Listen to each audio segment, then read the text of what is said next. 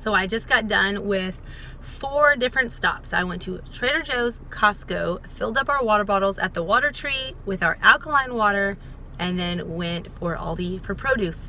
I am hoping, I think I'm gonna try something new this month and only go grocery shopping twice, twice in the whole month, like including produce runs. It took me a little over three hours to do all that. And Guillermo says it takes me like two hours just to go to one store. The only thing is that I genuinely love grocery shopping. Like I really like to be in the store.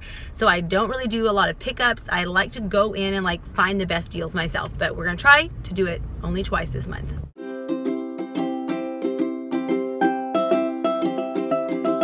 All right, here is what we got at Aldi for um, the beginning of April. I actually got three bags of these. One is MIA. Uh, they had really good deal on grapes for 85 cents a pound, so I went ahead and got four bags. One is already almost gone.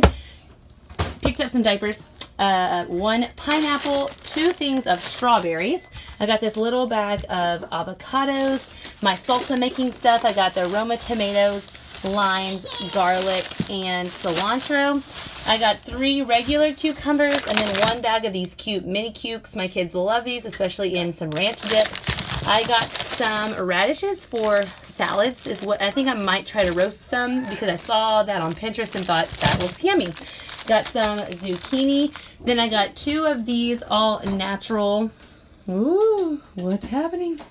Then I got two of these all natural chorizos. It's just the pork, vinegar, spices, salt, and garlic. I'm going to freeze one. I like to make breakfast tacos with those. Three things of the pork sausage. This is really clean ingredients and it's only $1.49. And so I got three of those and then I got cream cheese. These were on sale for only 69 cents.